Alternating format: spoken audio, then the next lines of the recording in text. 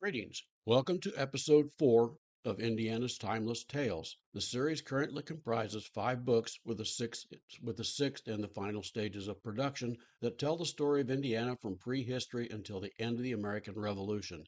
The podcast necessarily omits some of the information from the printed volume, so those interested in all of the materials, you can find it in the book Indiana's Timeless Tales Prehistory to 1781. This episode relates a brief history of the French and Indian War, known in Europe as the Seven Years' War. All wars have to have a beginning somewhere. Most historians regard the Battle of Jumonville Glen as the opening battle of the Seven Years' War. George Washington played a central role in this battle. The French and the British both claimed the rich region of the Ohio River Valley. The Amerindian inhabitants that lived in the region shifted alliances between the two powers, depending upon which offered them the better bargain for their alliance. By the early part of the decade, their allegiance began to shift towards the British. However, it was a tenuous shift. When Virginia Governor Robert Dinwiddie had sent George Washington on his mission to warn the French to leave the Ohio River Valley region in October 1753, Washington had passed through the forks of the Ohio area on his way to Fort Le Boeuf. This area had impressed him as the ideal place to build a fort. Thus, when Dinwiddie had wanted to fortify the area, he acted upon his trusted colonial officer's recommendation and ordered Captain William Trent and a company of colonial militia to build a fort at the site. Trent had arrived in mid February and began constructing the fort that the British would call Prince Fort George. In March 1754, Dinwiddie ordered Washington to gather a force together to reinforce Trent's company at Fort Prince George and begin building a road. Washington complied, departing for the area by April the 2nd, 1754, with 160 men. More militia joined him at Winchester. Unknown to Dinwiddie and Washington, a French force of five to six hundred soldiers had arrived at Prince, Fort Prince George on April the 17th and forced Trent, with his far smaller force, to leave. The French tore down Fort Prince George and began construction of the larger Fort Duquesne. Upon informing Washington of these developments, Trent joined Washington's force to return to the forks of the Ohio to, to build the road Dinwiddie wanted. Washington's force had built the road to an area called Great Meadows, a marshy clearing in the forest, by May the 14th. With a base camp here to store supplies, he began sending out scout, scouting parties to explore the area while waiting for Dinwiddie to send more troops. One of the scouting parties, led by Washington's companion on the December 2nd mission to Fort Le Boeuf, Robert Gist, discovered that a French scouting party was operating in the area. One of Washington's native allies, a Mingo chief called Tanacharison, or Half King, suggested Washington should lead a force to ambush the party. Because of the tenuous relationship between the natives and the British, Washington agreed, to retain support of the chief. Various accounts of the battle that followed blur many of the details. By one account, Washington's force of about 75 men surrounded the French force, numbering about 40. Shots were fired and a battle of about 15 minutes ensued. Washington prevailed, his men killing about 10 of the French and forcing the surrender of the remainder. After the surrender, Lieutenant Cherison allegedly walked up to the commander of the French party, Joseph Coulon de Villiers de Jumonville and struck him in the head. The blow killed the officer. This act would play a major role in the war that followed. Washington fell back to Fort Necessity and began reinforcing the structure. The Battle of Great Meadows at Fort Necessity slapped young Colonel George Washington with his first and only battlefield surrender. It also served as the opening battle in a world war that became known as the Seven Years' War. In colonial America, this war would be the French and Indian War. The campaign was Washington's first experience wielding a military force. After his men finished the construction, he realized that Fort Necessity was in a bad position. It occupied boggy soil in the center of a depression. His men had only cut the tree line back to about a hundred yards. At that rate, the besieging French troops could hide in the forest and fire down on the fort from cover. They could also charge downhill. He did not have time to rectify his position. French commander Louis Coulon de Villiers led French troops. He was during the earlier battle of Jumonville, Glen, Jumonville Glen, an Indian had killed his younger brother.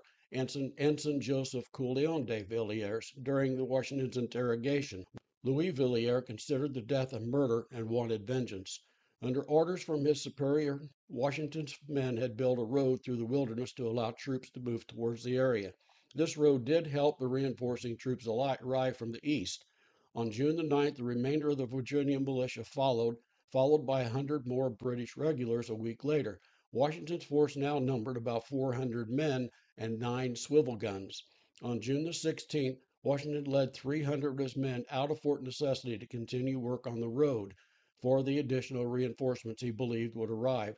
His intelligence from Fort Duquesne led him to believe that there were only 500 French troops there and that these had inferior training. After the Battle of Jumonville Glen, Washington's Amerindian allies had largely deserted him. He needed those reinforcements badly. Some of the natives did continue to supply Washington with intelligence about French movements, and from reports he decided to back to, retreat back to Fort Necessity. The troops arrived there on July the 1st, 1754. The militia began to work improving the defensive works around the fort and enlarging the perimeter. They attempted to d- dig defensive trenches, but these quickly filled in water with water in the boggy soil. On July 3rd, 600 French troops and 100 native warriors arrived in the forest surrounding Fort Necessity. They had used the road Washington's troops had painstakingly cut through the forest. They occupied the high ground around the fort and poured a relentless fire into it. The attack continued throughout the day, and Washington's casualties mounted. A pouring rain arrived, wetting the gunpowder. His situation dire, Washington remembered the ferocity of the Indians he had seen in battle. There were over a hundred warriors among the besiegers. His military career just might be coming to an end. Louis Coulon de Villiers received a report that a large British force was closing in on the site. It was a false report, but de Villiers could not know this. Not wishing to get caught by vengeful British troops discovering a massacre or hurting a line of prisoners, de Villiers sent, mes- sent Washington sent messengers to besiege Washington late in the evening. He offered to allow Washington and his troops to depart the fort unarmed. The negotiations took a lot of time as de Villiers did not speak English and Washington did not read French. He was not aware that de Villiers had inserted a clause in which Washington admitted to the murder of Ensign Joseph Coulon de Villiers while a prisoner of war. The French would use this admission of guilt as a powerful propaganda tool in the coming war. Washington lost about 30 men during the battle. He marched his remaining troops out of the fort on the morning of July the 4th, 1754. The French burned the fort. The battle had disastrous consequences for the British. They had no outposts of any kind left in the important Ohio River Valley, and war beckoned. The French and Indian War had begun with a French victory over an inexperienced 22 year old George Washington in Pennsylvania on May the 28th, 1754, at the Battle of Jumonville Glen. It ended with the last North American battle, the Battle of Signal Hill in Nova Scotia, on September the 15th, 1760. In the in- intervening years, the French had lost an empire. The Treaty of Paris, finalized on February the 10th, 1763, saw the end of French presence in North America and the beginning of British dominance. Under the terms of the treaty, the French ceded Canada, Dominica, Grenada, St. Vincent, and the Grenadines and the Tobago to Britain. The terms also gave the entire eastern Mississippi River basin to the British. This region included the Ohio River Valley region that had been the original source of the troubles. France retained fishing, right, fishing rights off Newfoundland, Newfoundland, and the French inhabitants of Canada guaranteed to practice their Catholic faith. The Treaty of Paris eh, eliminated French competition in North America, and the resulting lesson tensions should have led to peace. However, the colonists in North America had learned that they could govern themselves. Greetings. The vast Welcome debt to accumulated episode by Britain led to, Indiana's led it to impose Tales. taxes The on the colonists currently to pay for comprises it. five The colonists the bristled at sixth- with these the sixth and quote, the final stages of taxation without representation. tell the story of. Indiana from The British also until wanted to maintain a large standing army in North America, necessarily leading to some of the suspic- information suspicions among the colonists about their those motives. in all Thus, the ending of one war in the book led to the conditions that began another Prehistory to a dozen years later. This episode Find out more about Indiana history by purchasing the book, book Indiana's Timeless Europe as the Tales, Prehistory to 1781. All wars have to the have book a includes the early history of the Most Indiana historians from the time the regard the glaciers Battle of melted until the final days of the opening battle of the Revolutionary War. War. The book George includes sketches of native tribes that central role inhabited in the this state, battle. As well as French and British both established claimed the rich region of the Ohio River You can Valley. find it on my website, alliances between on the the two Indiana powers, State Park depending Travel upon which offered them the better bargain for their alliance. Uh, By the early part of the Amazon, decade- Barnes and Noble, Google Play, and other online booksellers. You may choose to purchase the book in ebook or softbound versions. An audiobook version is also available on Google Play. Residents of southeastern Indiana can find my books at the Walnut Street Variety Store on George Street in Batesville. At the conclusion of this series, I will compile the episodes into an audiobook. The audiobook will be available on Audible, Amazon, Apple, Barnes & Noble, as well as many other audiobook sellers. You can also order the books direct from me, the author, on the website.